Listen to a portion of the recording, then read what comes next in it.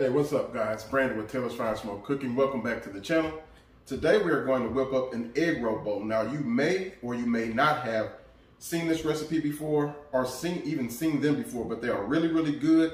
They're really good if you're if you're craving like uh, an Asian dish that's low on carbs.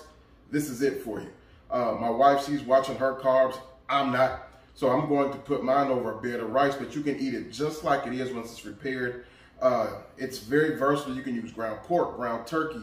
You can use ground beef. You can use ground chicken, sausage, whatever you like. But it's a very easy dish. It's full of flavor and really, really good. And, and it's light. So uh, let's get into these ingredients. Then we'll get to cooking.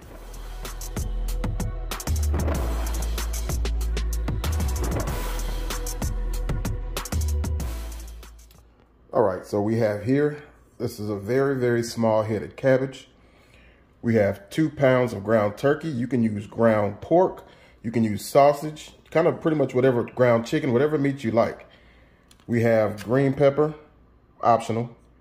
Some uh, white onion, carrot, the whites of a green onion. In this bowl here, I have about a teaspoon of brown sugar, two fresh, uh, two cloves of fresh garlic, and a teaspoon of uh, ginger. These are the tops of a green onion or a scallion. We're just gonna uh, use those as a garnish and add a little bit to it. We have regular soy, we have dark soy, rice vinegar, sesame seed oil, crushed red pepper, and a little black pepper. We may add a little salt depending, but we might have enough of our sodium coming from our two soy sauces here. So uh, let's go ahead and get started. I'm gonna start browning up this meat and I'll bring you guys back in. All right, folks, we are back. Now, I've just about got my ground beef, or my ground turkey rather, uh, browned up. Still got a ways to go. It's not completely brown.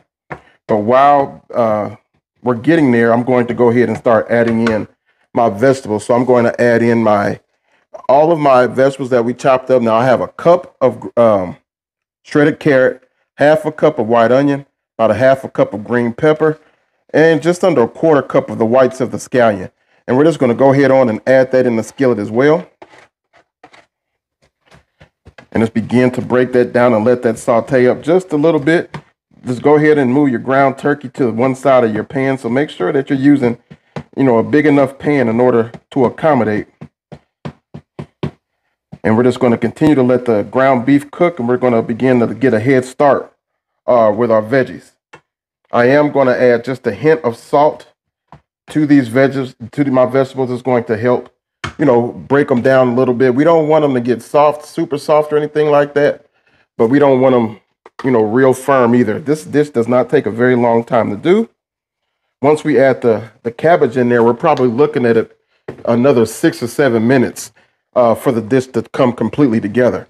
So it's not going to take very long at all. So we're going to let these vegetables go for about a minute, minute and a half and then we're going to mix everything up and then we're going to start building even more. All right, guys, so we're back. It's been a minute and a half. Now we're going to go ahead on and we're just going to combine our vegetables and our ground beef. Then we're going to start adding in our flavors. Now, if you wanted to, you could, you know, season your ground turkey as while you're cooking it with some granulated garlic and onion if you'd like. Add a little bit more flavor, but it's not necessary. Okay, so now that we've got that there, we're going to just make a little wheel in the center. We're going to add in our, I said a teaspoon of brown sugar. This is actually a tablespoon of brown sugar. Two fresh, uh, two whole cloves of garlic, like, you know, the little pods, minced, and a teaspoon of ginger. Get that in there. Now, when I cook regular cabbage or whatever, I am not a fan of sweet cabbage. I know some people add sugar to their cabbage. I don't like that generally, but for this dish, I think it balances it out very, very well. It's not a lot of sugar. You won't even taste the sweetness in it, but it does balance it out very well. So I, believe it's very necessary, and I recommend that you do use it. You can add as much or as little garlic as you like, or uh, garlic and ginger. You can actually smell that ginger now. It smells so good. All right. So now we're going to go a couple tablespoons of regular soy. We're going to go in with about a tablespoon or so of dark soy. We have our rice vinegar here. Just a couple dashes. It's going to add a nice little balance, like that umami with that the, the little bit of uh, sour and a little bit of sweet. It's really, really good. And then we're going to add in a little bit of sesame oil.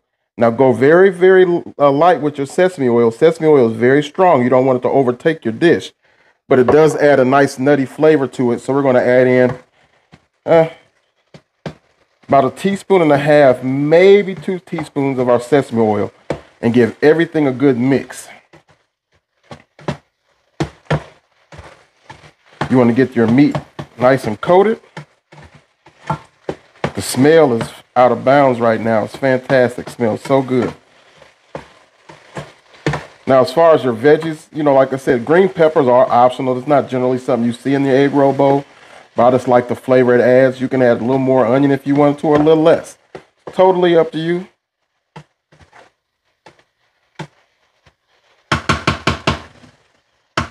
All right. Now we're going to go in with our cabbage. Now what you want to try to do, you want to try to mix your cabbage up as best as you can. And I forgot to mention that we are going to use a little bit of vegetable broth or chicken broth in here as well. That's going to help steam your cabbage up a little bit and get it done. All righty.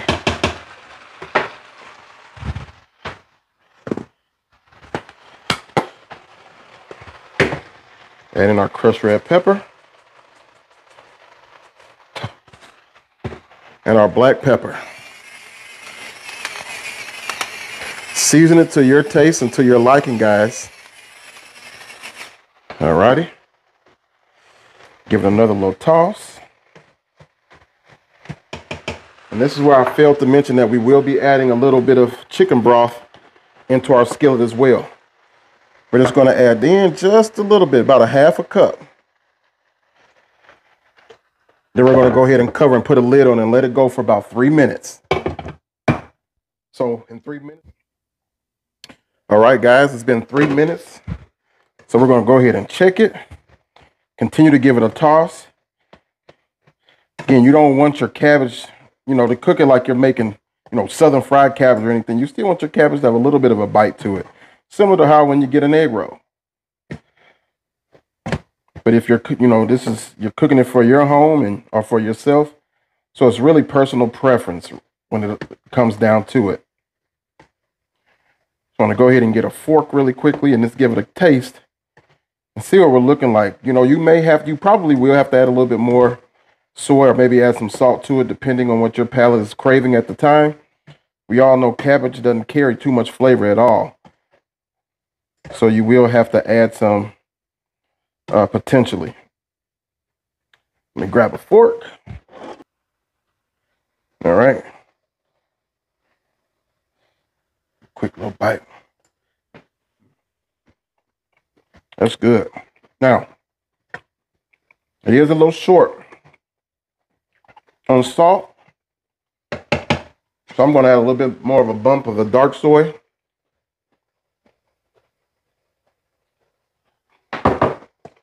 And a little more black pepper.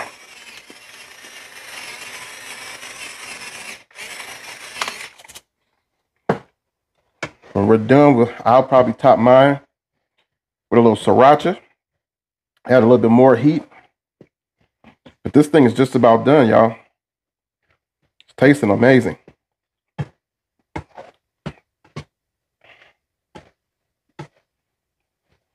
And you can always you know, add soy or whatever once plated up as well. All right.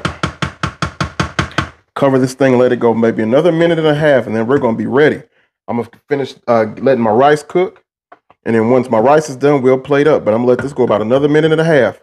So stay tuned. All right, guys, let's go ahead and make this bowl. So I've got some jasmine rice in a bowl. And if you know by now, I love the everything but the bagel seasoning on the rice. Give that a try if you have not uh, given that a try yet. It just adds so much flavor. And we're just going to go in with some nice heaping spoonfuls of our egg roll bowl right on top. Uh, you have a nice little bit of broth at the bottom. The meat and the cabbage is really moist anyhow, so a uh, nice heaping uh, spoonful on top. And let's go ahead and get it dressed up. All right, so what I'm going to put on mine, I'm going to put some sriracha on there. A uh, nice little kick of heat, a little bit of sweetness. I just love sriracha and it's really good on this egg roll bowl. And then we're just going to garnish it with the tops of our green onion or scallion. Uh, just for color and just to add a little bit more of an onion oniony bite to it. So here you have it, guys. It's looking good, smelling good, and I can't wait to sink my teeth into it. Let's go ahead on and get the first bite. All right, guys. So you see our bowl here, our uh, egg roll bowl. We've got our ground turkey. We've got cabbage. We got onion, green pepper. We have some shredded carrot. And you saw the sauces. We use a little dark soy, regular soy, rice vinegar, a few little seasonings, whipped it up, and this is what we got.